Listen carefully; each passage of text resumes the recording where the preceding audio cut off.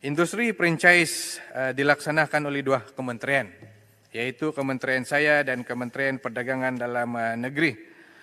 Sehubungan itu, tiada uh, peruntukan belanja mengurus dan belanja pembangunan yang sebenarnya disalurkan atau diperuntukkan ke kementerian saya. Uh, perbelanjaan ataupun peruntukan pembangunan tersebut diperuntukkan uh, kepada uh, Kementerian uh, Perdagangan Dalam uh, Negeri. Walau bagaimanapun, Pernas sebagai agensi yang dipertanggungjawabkan untuk membangunkan usahawan tempatan adalah komited untuk melaksanakan program pembangunan dengan menggunakan peruntukan dalaman Pernas. Berdasarkan laporan perniagaan franchise, ianya mencatatkan nilai jualan industri franchise yang terbesar setakat ini yaitu sebanyak 26 bilion ringgit berbanding 14 bilion ringgit pada tahun 2020 yaitu satu peningkatan sebanyak 71% pada tahun 2021. Kerajaan mensasarkan 16 industri franchise akan terus berkembang antara 20 hingga 30% pada tahun ini. Sehingga Disember 2022 terdapat sebanyak 1,197 syarikat franchise yang berdaftar.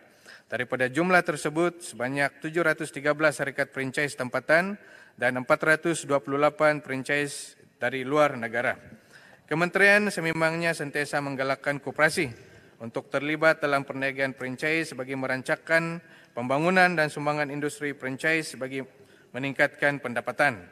Sehingga kini sebanyak 55 koperasi telah menceburkan diri dalam perniagaan franchise dalam sektor makanan dan perkhidmatan seperti Arano Exchange Bank Rakyat. Bagi sektor perkhidmatan, dan uh, Mary Brown Gloria James Coffee bagi sektor makanan. Menteri minta mohon mencelah. Okay. Ya, saya habiskan dulu yang ni bahagian okay, Pernas. Boleh, saya ya. boleh tunggu. Ha. Kementerian melalui Pernas uh, memperkenalkan program Business in Transformation BIT uh, pada tahun 2013 sehingga kini yang merupakan uh, program transformasi perniagaan untuk usahawan mikro menjadi lebih kompetitif dan sistematik dalam menjalankan uh, perniagaan. Melalui program BIT ini, usahawan kecil akan dibimbing untuk menektara perniagaan mereka dari segi image, kualiti perniagaan, fungsi perniagaan bagi membantu meningkatkan sumber pendapatan mereka.